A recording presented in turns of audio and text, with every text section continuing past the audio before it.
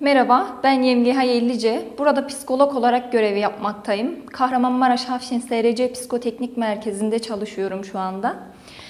E, kurumumuzda e, ticari araç kullanan e, ya da kural ihlalleri sonucu ehliyeti iptal edilen veyahut e, ehliyetine el konulan adaylarımızın psikoteknik raporu alması için e, burada test vermekteyiz.